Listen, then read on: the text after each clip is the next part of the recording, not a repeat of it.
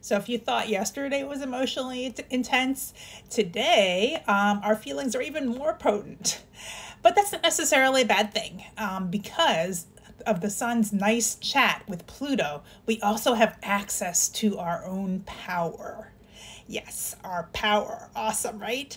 So, this can give us the courage to go really deep and to work out some previously uh, hidden uh, psychological issues um, that, like I said, they've been hitting in our self conscious and they've been holding us back without us even necessarily being aware of it.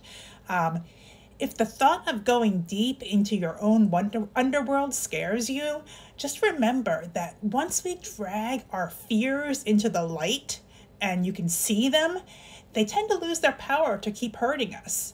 So it may be worth the effort today and it comes to us pretty easily. So consider that.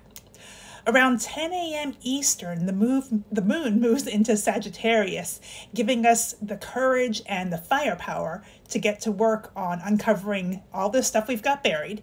And out in the world, at the same time, we can use this courage to speak up at meetings, to mingle with authority figures, or to make our power move. But there's a big caveat with this. Make sure that you've done your homework first before you make a big move because courage and confidence are only going to take you so far today. And if you um, lack preparation, you're probably going to find some roadblocks. So, um, however, if you've done your due diligence, though, today could be your day to make that big move. So, um, if you're prepared, go for it. If you're not, um, hold back and wait a little bit longer and, and just work out the details first.